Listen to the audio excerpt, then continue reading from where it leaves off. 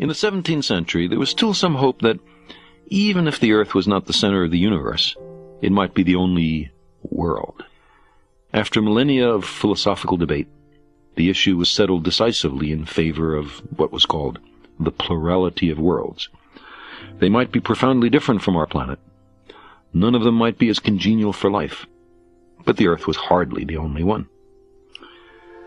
This was the next in the series of great demotions, downlifting experiences, demonstrations of our apparent insignificance, wounds that science has delivered to human pride. Well, some hoped, even if the Earth isn't at the center of the universe, the Sun is. The Sun is our Sun. So the Earth is approximately at the center of the universe. But by the 19th century, observational astronomy had made it clear that the Sun is but one lonely star in a great self-gravitating assemblage of suns called the Milky Way galaxy. Far from being at the center of the galaxy, our sun with its entourage of dim and tiny planets lies in an undistinguished sector of an obscure spiral arm. We are 30,000 light years from the center. Well, our Milky Way is the only galaxy. The Milky Way galaxy is in fact one of billions, perhaps hundreds of billions, of galaxies notable neither in mass, nor in brightness, nor in how its stars are configured and arrayed. Some modern deep sky photographs show more galaxies beyond the Milky Way than stars within the Milky Way. Every one of them is an island universe containing perhaps a hundred billion suns. Such an image is a profound sermon on humility. Well then, at least our galaxy is at the center of the universe. Nope. This is wrong too. When the expansion of the universe was first discovered, many people naturally gravitated to the notion that the Milky Way was at the center of the expansion, and all the other galaxies running away from us. We now recognize that astronomers on any galaxy would see all the others running away from them. Unless they were very careful, they would all conclude that they were at the center of the universe. There is, in fact, no center to the expansion, no point of origin of the Big Bang. Well, even if there are hundreds of billions of galaxies, each with hundreds of billions of stars, no other star has planets. If there are no other planets beyond our solar system, perhaps there's no other life in the universe. Our uniqueness might then be saved. Today, we have firm evidence for at least three planets orbiting an extremely dense star, and we found for more than half the stars with masses like the Sun's that early in their careers they're surrounded by great disks of gas and dust, out of which planets seem to form. Other planetary systems now look to be a cosmic commonplace. Maybe even world something like the Earth. Well, if our position in space doesn't reveal our special role, our position in time does. We've been in the universe since the beginning, give or take a few days. We've been given special responsibilities by the Creator. The radioactive dating of rocks, the abundance of impact craters on many worlds, the evolution of the stars, and the expansion of the universe each provides compelling and independent evidence that our universe is many billions of years old. Despite the confident assertions of revered theologians that a world so old directly contradicts the Word of God, and that at any rate information on the antiquity of the world is inaccessible except to faith. These lines of evidence as well would have to be manufactured by a deceptive and malicious deity, unless the world is much older than the literalists in the Judeo-Christian Islamic religion suppose. Ages rolled by before the earth began. More ages will run their course before it is destroyed.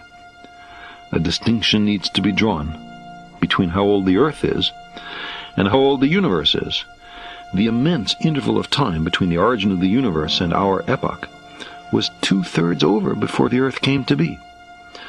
Some stars and planetary systems are billions of years younger, others billions of years older. But in Genesis chapter 1 verse 1, The universe and the earth are created on the same day. As for humans, we're latecomers. We appear in the last instant of cosmic time. The history of the universe till now was 99.998% over before our species arrived on the scene. In that vast sweep of eons, we could not have assumed any special responsibilities for our planet or life or anything else. We were not here. Our common sense intuitions can be mistaken. Our preferences don't count. We do not live in a privileged reference frame. Well, even if our position, our epoch, our motion, and our world are not unique, maybe we are. We're different from the other animals. We're specially created. The particular devotion of the creator of the universe is evident in us. This position was passionately defended on religious and other grounds. But in the middle 19th century, Charles Darwin showed convincingly how one species can evolve into another by entirely natural processes, which come down to the heartless business of nature saving the heredities that work and rejecting those that don't. Man, in his arrogance, thinks himself a great work, worthy of the interposition of a deity. More humble, and I think truer, to consider him created from animals. The profound and intimate connections of humans with the other life forms on Earth has been compellingly demonstrated in the late 20th century by the new science of molecular biology. Well, even if we're closely related to some of the other animals, we're different. Not just in degree, but in kind, on what really matters reasoning, self consciousness, tool making, ethics, altruism, religion, language, nobility of character. Human uniqueness has been exaggerated, sometimes grossly so. Chimps reason, are self-conscious, make tools, show devotion, and so on. Chimps and humans have 99.6% of their active genes in common. Okay, maybe we're not much.